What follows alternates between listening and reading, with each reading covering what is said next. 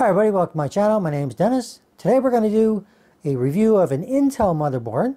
So it's the MAG Z790 Tomahawk Wi-Fi. Alright, we're going to have a look at it, go over all its features. It's pretty much loaded and yeah, I'm not because the money it cost. Uh, not in my pocket no more. Alright, the motherboards have gotten out of control.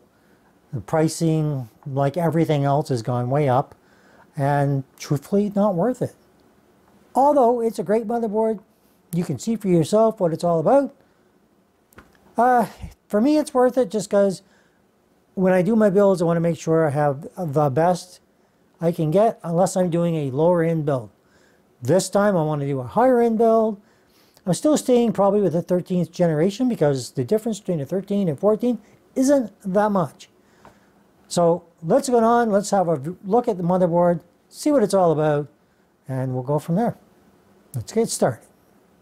Okay, so this is a quick look at the outside of the box. Okay, it says next gen CPU ready, which means uh, 13th gen. All right, Windows 11 compatible. They put TPM 2.0 just to let you know that it does have that module on the motherboard, so you don't have to worry about it. So if you want to do the uh, security for your secure boot, and all that kind of stuff so you can run your games or whatever run UEFI all that kind of good stuff. It's there for you. Lightning Gen 5 and of course it has the MSI Mag logo and it will accommodate both I believe 12 and 13th gen. So if you want to go down to the 12 I don't know why you would. You're going to get a motherboard like this you're probably going to want to stick with the 13th gen. Alright I like using MSI motherboards I just find everything works better. I've never had an issue with an MSI motherboard to date, especially when it comes to RGB software. If you like that, this is my recommendation is stick with MSI. So let's get it out of the box, let's have a look at it, and uh, let's go over all its features. Alright, now it's already been opened out of the box once because they had to double check the pins. I'll show you what that's all about if you don't know already because they have to check that the CPU socket is going to be okay. All right, you don't have any bent pins or anything like that. So we're going to set the motherboard aside for now before we start just to see what else we get in the package. Which is not a lot these days, to be quite honest with you. I'm finding they're really uh, charging a whole lot more and giving a whole lot less. So, of course, we have our antenna for our Wi-Fi. We have a couple SATA cables, which with M.2 you may not use anymore.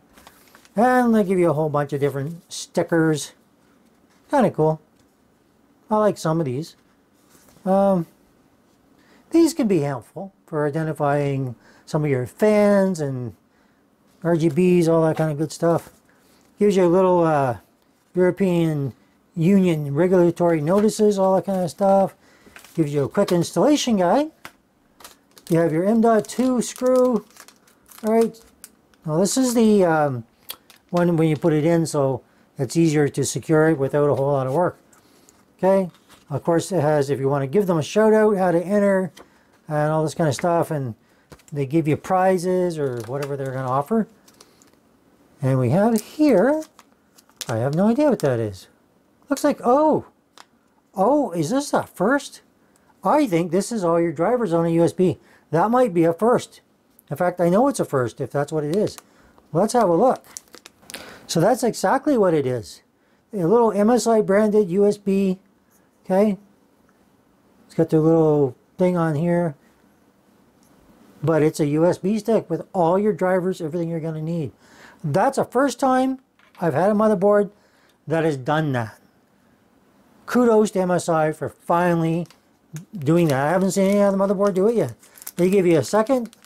Uh, it's called an M.2 locker, just in case you're wondering. All right, again, makes it easier to install your M.2s, lock them down, take them back out, exchange them, whatever you want to do. Let's close the box. Let's get on to the actual motherboard. Okay, so first we're going to start off with some of the features that I think are important on the board. So you have your four DIMM slots, which are DDR5 up to 7200 overclocked. Okay, that's pretty fast. Uh, you're not getting that out of uh, a DDR4. Now I just happen to have DDR5, which is what made this not quite so bad in price. Uh, of course, it has four M.2 Gen 4 times 4 64 gigabyte a second slots and 7 times uh, SATA 6 gigabyte per second ports. So underneath here, I've just loosened it to show you. So underneath here, you get two M.2 slots right there.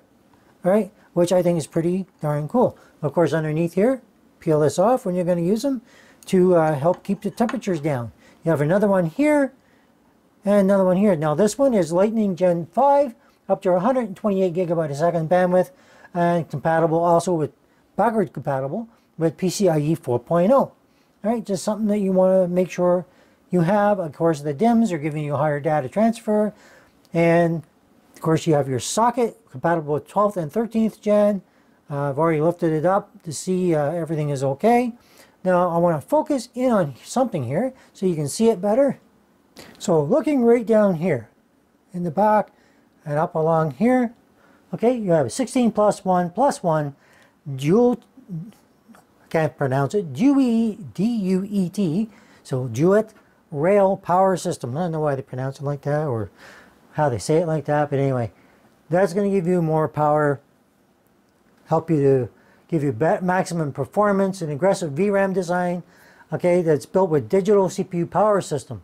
Okay, it combines an 8 and 8 pin power connectors and exclusive core boost technology. All right, the Mag series motherboards are ready for heavy gaming loads. All right, just something to keep in mind.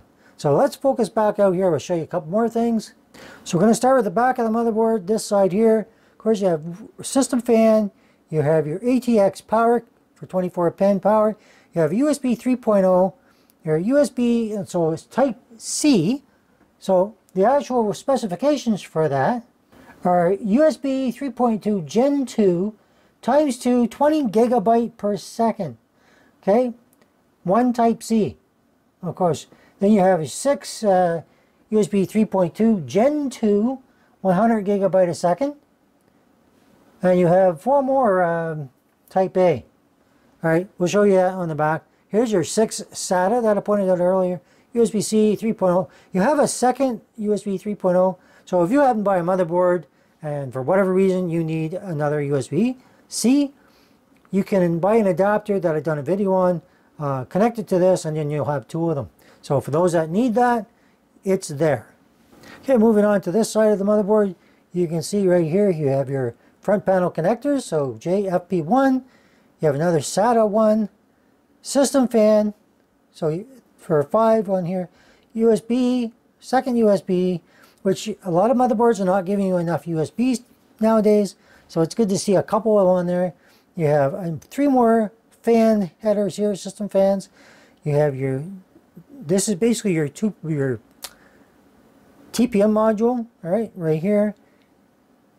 Your J Power LED 1, your addressable RGB, another RGB, and your audio.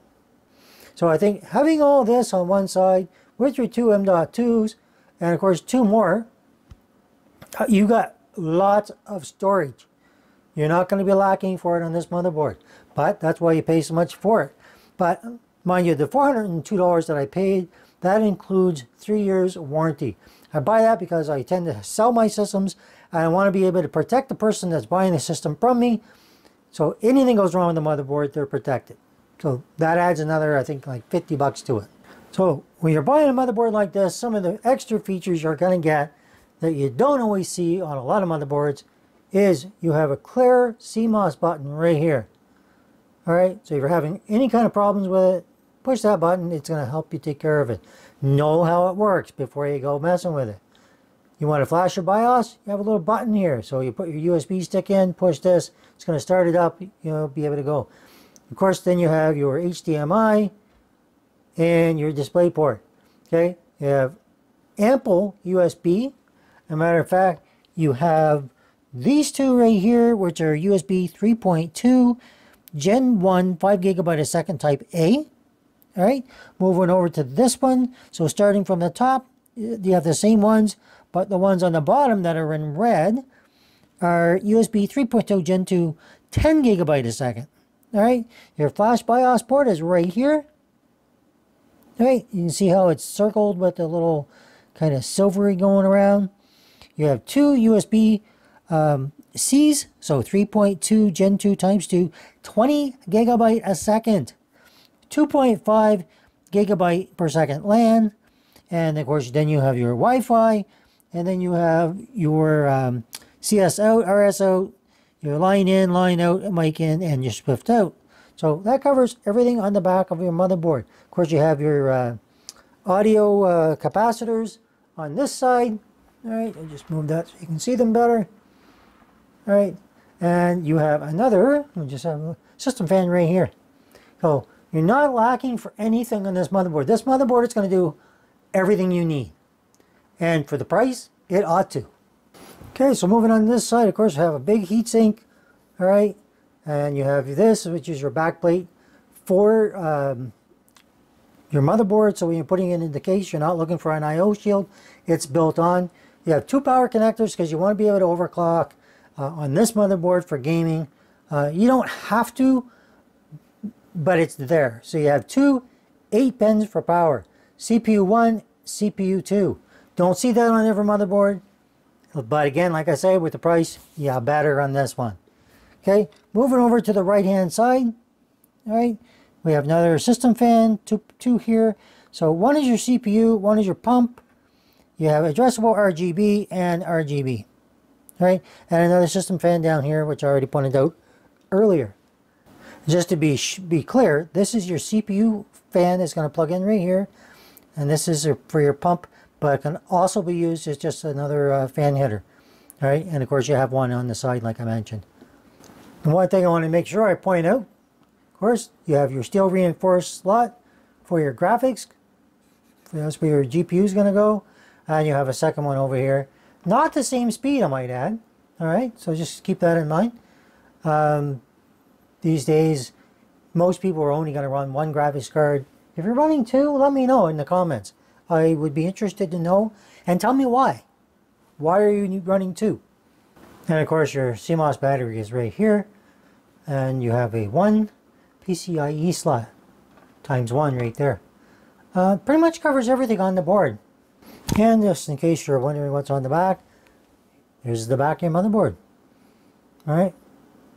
You can see where your traces are for your audio. Alright. Just uh, to make sure you're aware where it is. Of course, it's an ATX motherboard, has nine standoffs. Okay, there's three, three, and three. So something else that'll be interesting to know is MSI did it right. Every M.2 on here, except of course this one, uh, supports PCIe 4.0. Well, of course this does too, but it's uh, PCIe 5.0. But you have four and they will all run at the same time. You're not for a lack of PCIe lanes. All right, just something to be aware of. I know a lot of people say, well, yeah, but if I do this, it's going to take up and it's going to eat them up and then I'm not going to be able to run them all. On this motherboard, you can. So a few more features I want to point out is, of course, it supports Bluetooth 5.3, FIPS, FISMA, Wi-Fi 6E, so 6 gigabyte per or six gigahertz. Uh, of course, that'll depend on your country's regulations and and your uh, Windows. Uh, it's going to be Windows 11, and you have to have Windows 10. Uh, the build has to be 21H1 or later. Your Realtek, so your audio, is an ALC 4080 codec, 7.1 channel USB high performance audio, and uh, just pretty damn good. Um, the two power connectors I showed you earlier, okay, so I'm just going to show you those again just to point it out. All right, so you have your CPU power connector and you have your ATX power connector. All right, so they both say CPU power 1 and 2. They have in the specs, in the manual, which you can download, uh, they have a QR code on the box. You'll see that one is power connector ATX power, and the second one is power connector CPU power. So a few more things I want to go over, of course, is it has a robust power design, which is your 16 phases mirror powered arrangement, okay, with the use of 90 amp power smart stage, okay. You had quadruple, or so four M.2 connectors with the M.2 shield Frozr, All right, your Lightning 20 gigabyte uh, 3.2 USB 3.2 Gen 2 times 2, 20 gigabyte second, which I pointed out on the back there. Your Wi-Fi 6E with your Bluetooth, which 5.3 is pretty new, so it's good to see that's coming out. Audio Boost 5, up to 120 uh, decibels, or 32-bit, 384 kilohertz, and DSD support. And that pretty much uh, covers pretty much everything I can think of. I don't think I've left anything out other than, of course, that it supports 4K at 60 Hz, has HDMI 2.0 and DisplayPort 1.4. Of course, with the required uh, processor graphics. All right, so your graphics card, most graphics cards are going to have that, of course. Has 8 channels, 7.1 HD audio with audio boost, like I mentioned. Um, yeah, I don't think I've mentioned or forgot anything. Of course, on the box has a little QR code. You can go in there, register, and uh, maybe get some goodies. But at least you'll be able to see more information. Uh, of course, get your usual, your get your user manual. I'll get that right yet. And uh, yeah, that's all there is to it. All right, so that covers pretty much everything on the motherboard. Nothing fancy about motherboards these days.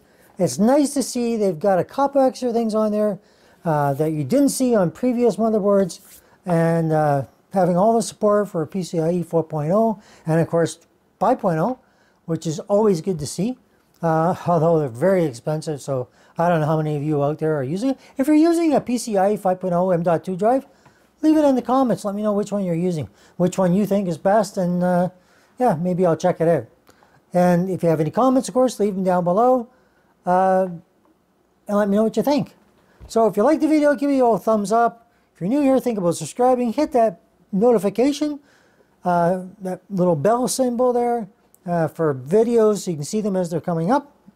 And as always, thank you for watching. Have a good one.